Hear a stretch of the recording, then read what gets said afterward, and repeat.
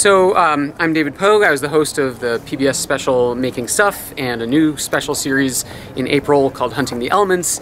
And then uh, there's going to be a sequel to Making Stuff, more, more another mini series, and and that's and there's another whole show I'm going to be hosting uh, for for Nova. So.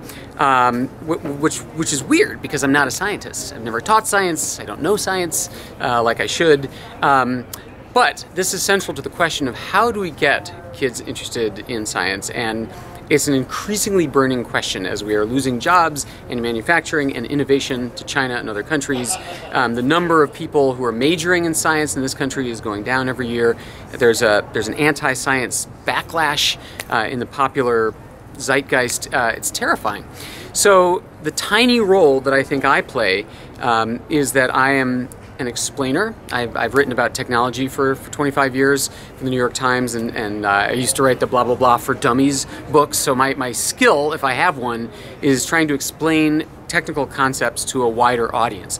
And it turns out that the science stories today are fantastic.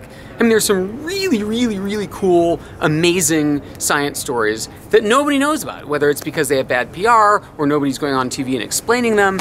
I don't know. In, in Hunting the Elements, we went to a facility in California called the National Ignition Facility. It's your tax dollars at work, hundreds of millions of dollars, uh, run by the Department of Energy, and they are making a star.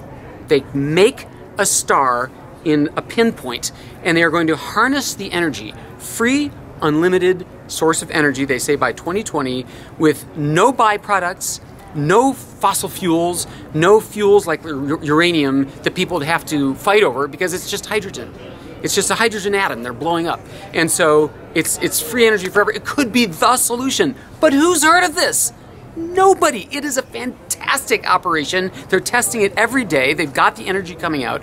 Incredible. So, anyway, that's one of many examples of why, if somebody could just tell the public what's going on in science, how it's relevant to our lives, how cool it is, and how interesting, not scary and dry, it doesn't have to be at all, then I think we'd be able to dig ourselves out of this problem. So, that's my that's my belief when I get out of bed in the morning is that maybe, just maybe, if we tell the story entertainingly and clearly and relevantly, that it'll begin to turn things around.